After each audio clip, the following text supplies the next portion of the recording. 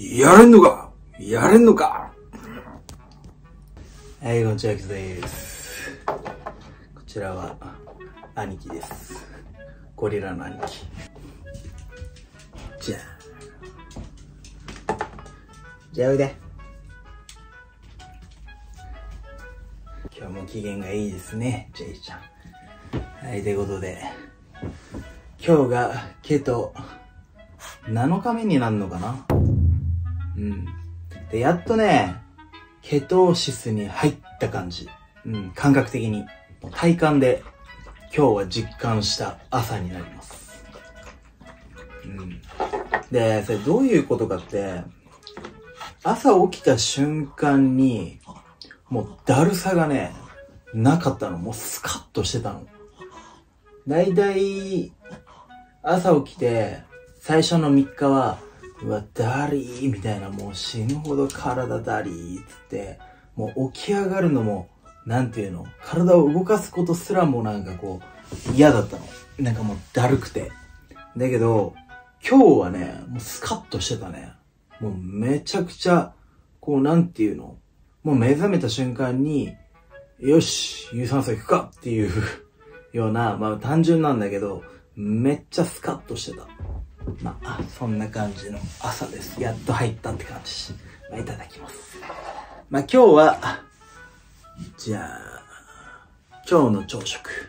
これはね、牛のミンチに糖質ゼロ麺と、キノコ、ほうれん草。で、これをね、ごま油と、まあ、鶏ガラのやつをちょっと入れて、で、炒めて MCT オイルをかけたって感じ。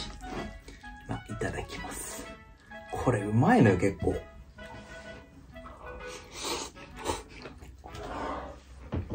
あっ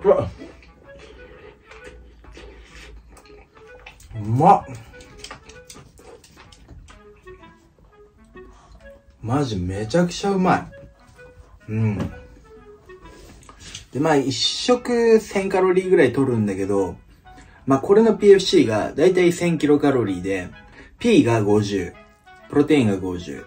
で、ちょっとね、脂質がね、ちょっと多めになってた。脂質が90。で、カーボがほぼゼロ。まあそんな感じの朝食です。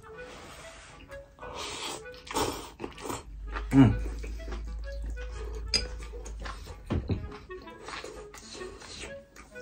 あっこい。まあ大体70%が脂質だね。今日の朝食は。ちょっと熱いな。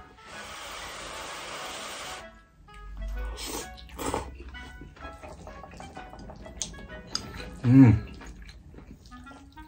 満足感が半端じゃないね、もう。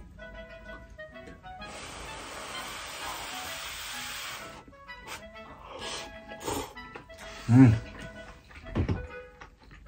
で、俺がなんとなく感じた、ケトーシスに入った時の体感というか、入ったサイン的な、俺が感じたものなんだけど、まず一つ目が、もう本当にね、体のだるさが本当になくなった。うん。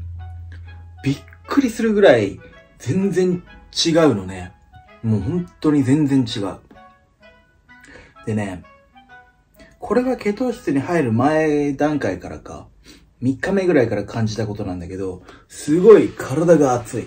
トレ中にめっちゃ汗かくし、なんて言うんだろうな。もう常になんか熱い。汗かくっていうか。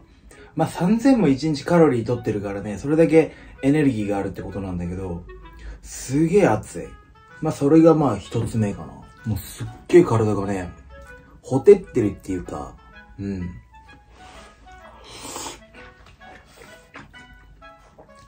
体のだるさがなくなったってのが一番でかいね、とりあえず。で、二つ目が、あんまり寝なくてよくなったっていう。うん、これは昨日ぐらいから、昨日、一昨日か、ぐらいから感じてたんだけど、夜ね、あんま寝れないのね。夜。で、朝、めっちゃスッキリ起きれる。もう、パッと目が覚める。アラームとかもなしで。しかもいつもはだいたい俺6から7時間ぐらい睡眠時間として確保して撮ってるんだけど、もう5時間ぐらい。もう全然寝れなくて、今日とかはね、昨日の夜全然寝れなくて、4時間ぐらいだった。だけど、朝起きて、なんかめっちゃスッキリしてて、で、そのまま有酸素行ってって感じ。だから、いつもよりちょっと、早い行動というか。だから、すごいよね。まあ、これがいいのか悪いのかは別にして、睡眠時間がさ、2時間減らせるってことは、その2時間で自分の時間に当てられるっていうの。うん。すごいいい。いや、体調が一気にこう、変わったっていうか、世界が変わったぐらいのレベルですげえ大げさに言うんだけど、そのレベルで全然違う。もう。うん。だから今日の筋トレはちょっと楽しみだね。どう体が変わるのか。まあ、だるい時でも、筋トレはずっとやってて、重量も別に特別下がったりっていうのはもうほとんどないんだけど、有酸素のだるさがすごかったのよ。でも今日の朝は、もう全然有酸素もね、楽勝だった。楽勝っていうか、うん。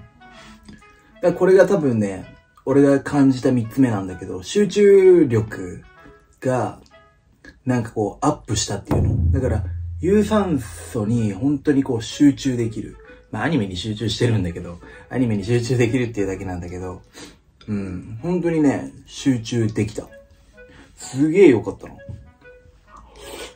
うん。まあ全部体調が良くなってたっていうのが繋がってるんだろうけど、結構いいよ。まあそれがね、今んとこすごい感じてること。うん。今日の朝も体重減ってたしね、やっぱり。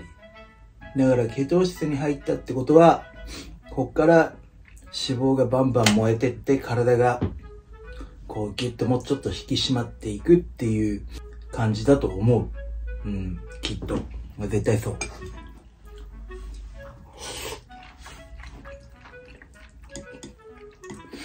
え一週間ちょっと長かったな、でも。一週間もかかるとはね、まあ、一週間から二週間かかるっていう人もいるから、やっぱり。俺は結構長かったね、一週間。うん。なんか早い人だと3日とかで切り替わるって言うじゃん。ちょっと俺は3日はただただ辛い感じだったもんね。うん。あとはまあ腹が減らないってのは本当腹が減らないね。なんか、まあ暇だと、なんか腹が減る減らないじゃなくて、なんかこう食べたいなとか、口寂しいからなんか、暇だしなんか食いたいなとかはあると思うんだけど、なんか基本的に冷静になった時に、まあ別に腹も減ってないし、特別なんか食べたいかって言われたら、今からまた油っていう感覚だから。うん。そんな特別腹も減らないしね。びっくりした。結構いいな。だからやる人は、ちょっと覚悟を持って、一週間乗り切れば、あとは多分ね、楽だと思う。うん。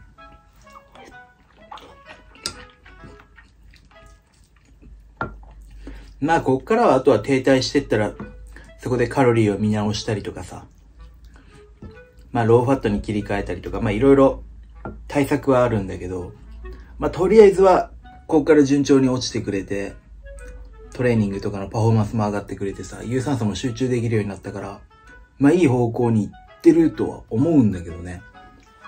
うん。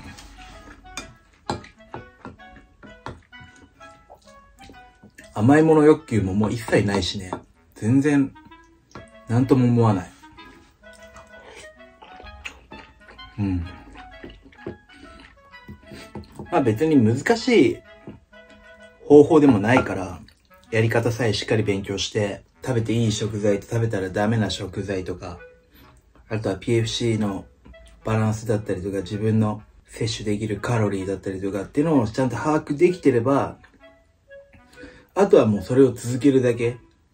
そうするとやっぱり、まあ、絞れるのはまあ早いんじゃないかな。うん。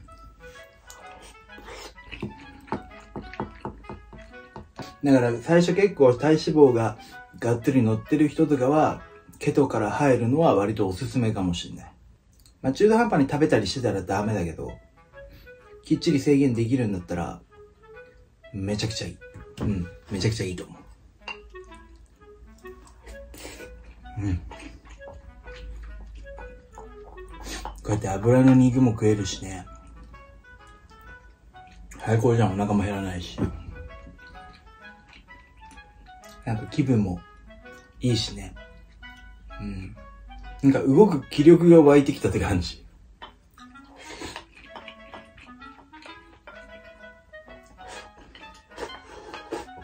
うん。ごちそうさまでした。なぜ？ね、テーマやるけど。ねえ